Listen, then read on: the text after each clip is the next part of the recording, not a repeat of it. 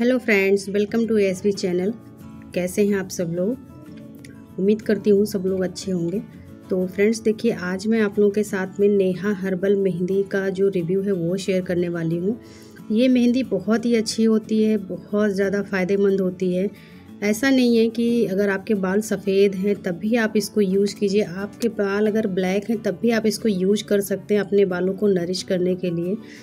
क्योंकि हमारे बालों को हमेशा जो है देखभाल की ज़रूरत पड़ती है। अगर आप देखभाल नहीं करते हैं तो बाल बहुत ज़्यादा रूखे सूखे हो जाते हैं। तो ये मेहंदी अगर आपके बाल सफ़ेद है, तब भी आप इसको लगा सकते हैं। अगर आपके बाल सफ़ेद नहीं है, तब भी आप इसको लगा सकते हैं।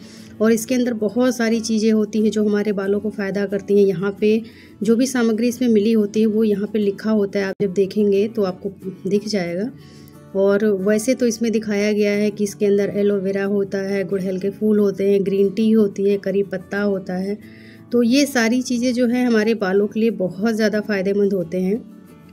तो ये इस पर देखिए रेट बारह रुपये पड़ा है, लेकिन ये दस रुपये में आ जाती है और बहुत ज़्यादा फ़ायदेमंद होती है। इसको ज़्यादा झंझट की ज़रूरत नहीं होती है, बस एक बार आप इसको भिगो दीजिए और उसके बाद अपने बालों पे अप्लाई कर लीजिए, बहुत इजी होता है।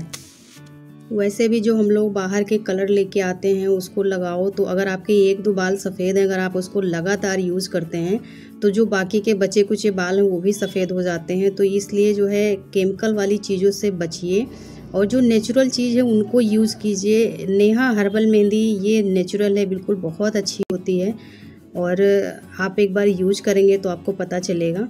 मैंने खुद इसको यूज़ किया है।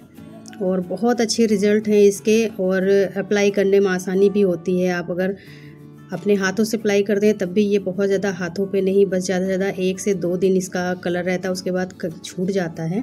आप चाहें तो इसको ब्रश से भी अप्लाई कर सकते हैं। मैंने ब्रश से कैसे अप्लाई किया जाता है वो बताया है पिछले वीडियो में तो आप उस वीडियो को भी देखिएगा, आपको पसंद आएगा।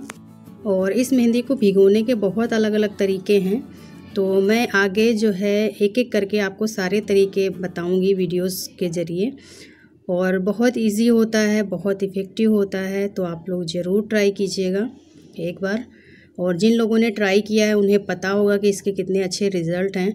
और मैंने एप्लीकेशन कर करके दिखा दिया कि कैसे अप्लाई किया जाता है। और मैं इसको भिगोने का तरीका भी दिखाऊँगी।